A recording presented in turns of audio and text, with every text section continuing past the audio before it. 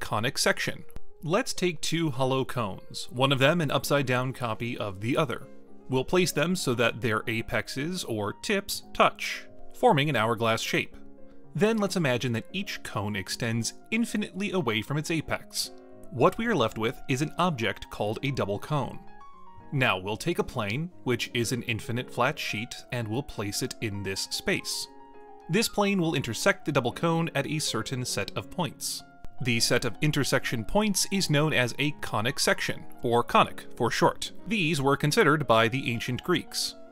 For now, let's say that the plane does not pass through the double cone's vertex. In that case, there are three possible types of conic sections. The first is the ellipse, which can be obtained with a plane whose slope is gentler than that of the cone. A circle can also be considered an ellipse, though it is sometimes considered separately. The second type of conic section is the parabola, a U shape that's formed when the plane has the same slope as one side of the double cone. The third type is the hyperbola, formed by a plane that's steeper than the double cone. It consists of two parts, known as the hyperbola's branches. If we do allow the plane to pass through the vertex, we get a conic known as a degenerate conic. This can be a point, a line, or a pair of lines. The lines in question can be either parallel or intersecting. Every conic section can be described in Cartesian coordinates by a certain equation in terms of x and y. Some simple examples are a parabola described by y equals x squared, a circle described by x squared plus y squared equals 1, and a line described by x equals 0. Now let's take the parabola equation and move everything to the left-hand side, resulting in y minus x squared equals 0.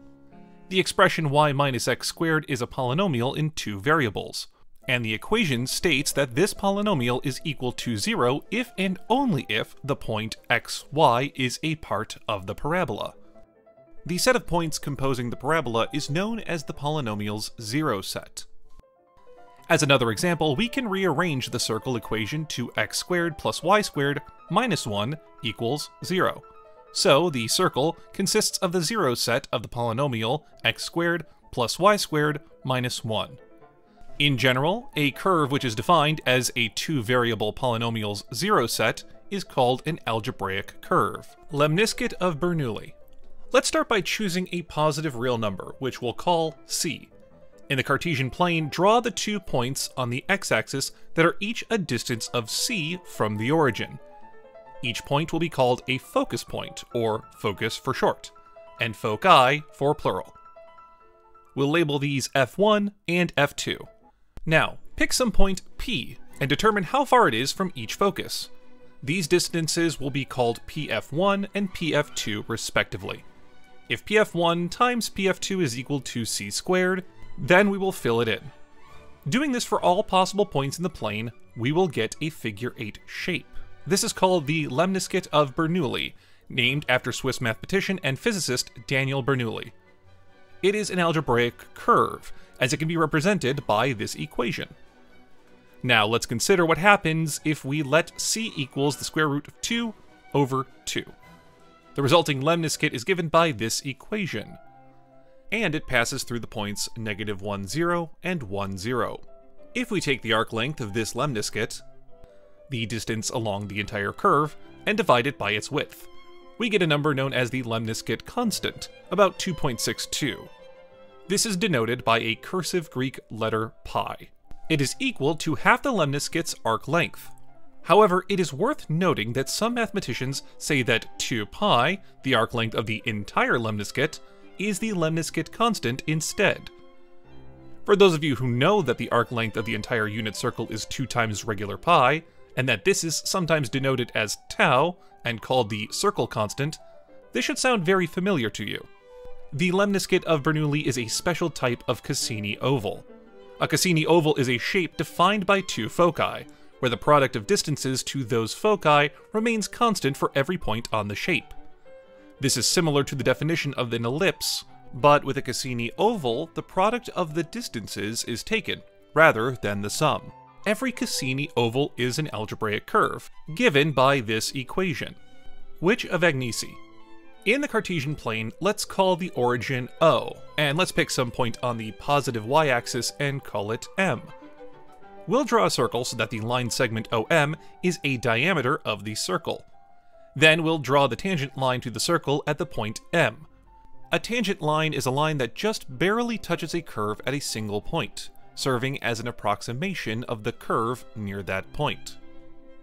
Now we can pick any point A on the circle other than O, and we will draw a line passing through both O and A.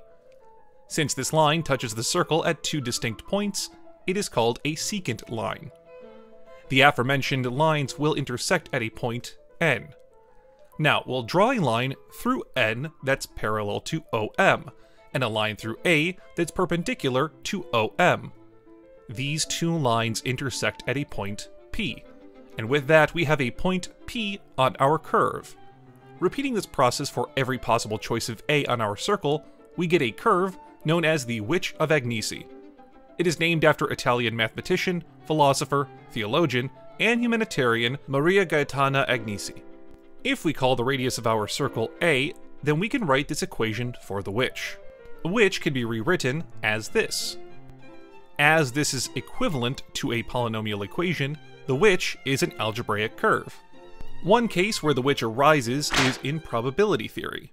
A continuous random variable is a variable with uncountably infinitely many possible values. The probability that such a variable falls within a given interval can be determined using a function called probability density function. One example is the probability density function of the Cauchy distribution. Graphing it gives us the witch. Folium of Descartes. Here's a Latin language lesson. The Latin word folium means leaf. That concludes our Latin language lesson. The folium of Descartes is given by the equation x cubed plus y cubed minus 3axy equals 0 for some value a. It is named after French philosopher, scientist, and mathematician René Descartes, who first came up with it in 1638. It is remembered for an event that occurred involving Descartes and another French mathematician, Pierre de Fermat. Descartes wanted to test out Fermat's claim that the latter had discovered a method of finding tangent lines. So Descartes challenged Fermat to do so for any arbitrary point on the folium of Descartes. Let's take up Descartes' challenge ourselves. Luckily today, we have the benefit of calculus to help us out. In particular, we must use a technique known as implicit differentiation, which allows us to find the slope of the tangent line to any point on an implicit curve. Let's take our equation from before. Now we take the derivative with respect to x on both sides. The right-hand side simplifies to zero. On the left, remembering that a is a constant, we can apply linearity. Using the power rule, the first term is 3x squared. As for the second term, since we are treating y as a function of x, we will use the power and chain rules. The last term requires the product rule. With all the calculus out of the way, all we need is some algebra to solve for dy dx. Now, for any point x0, y0 on the curve, finding the tangent line requires using point slope form. With that, we have solved a problem that Descartes could not. However, Fermat could, leaving him the winner of Descartes' challenge.